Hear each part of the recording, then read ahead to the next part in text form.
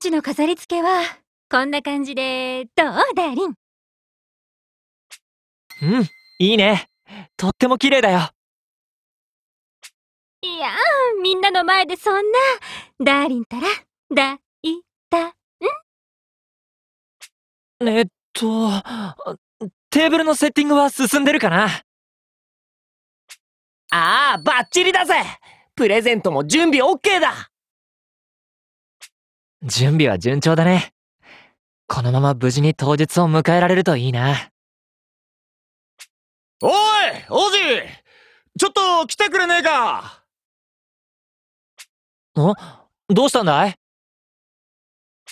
あー、ちょっとな。アレクシスとエルフィリスが、お前さんを探してんだ。来てくれあ、うん、わかった。じゃあ、ここは任せるよ、リュカ。うまく誘い出せたみたいね。じゃあ、みんな集合 ダーリンに秘密を作るなんて、あたしったら罪な女。でも、その秘密こそが恋を熱く燃え上がらせるの何言ってんのかわかんねえけど、用がねえなら準備に戻って。用があるから集めたんでしょ？じゃあ、クラウ、説明をよろしく。説明は私に振るんですね。当然でしょ？あんたが言い出したんだから。あれ？えっと、実はですね。みんなで王子にプレゼントを贈りたいんです。それで、何を贈るか相談をしたくて。は？そんなのあいつに直接何が欲しいか聞けば。バカね内緒で準備して驚かせるのよだから、ランザーブたちに王子を呼び出してもらったんです。サプライズプレゼント楽しそうやろうやろう日頃の感謝を伝えられるものを送りたいな。く ぅ楽しくなってきたびっくりさせてやろうぜ 清流祭ってこんなに楽しいのに、今まで全然知らなかった。知ろうともしてこなかった。もったいねえことしてたんだな。わかりますよ。でも難しいんです。種族の壁を越えるのは、いろいろと。そう考えるとすごいよね。今回のパーティーはいろんなものを超えちゃってるもん。いろんな国のいろんな種族の人がたくさんいて。だな。やっぱ、王子はすげえんだよな。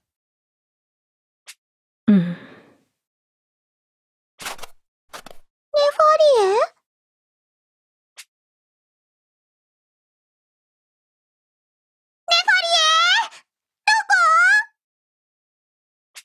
ナーム。いたい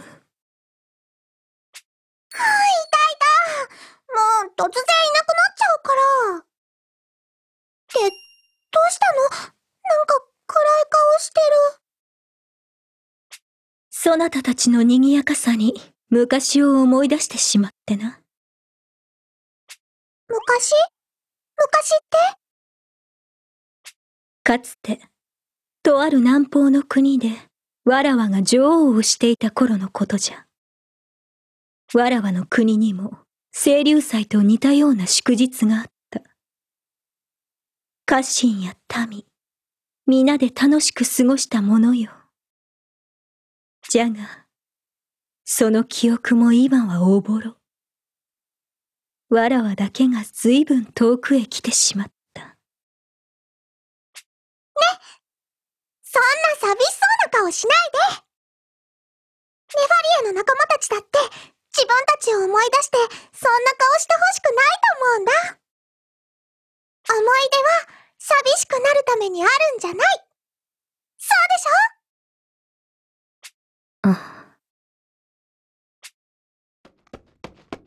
ょ？こんなところにいたのか。魔獣の襲撃だ。手を貸せ。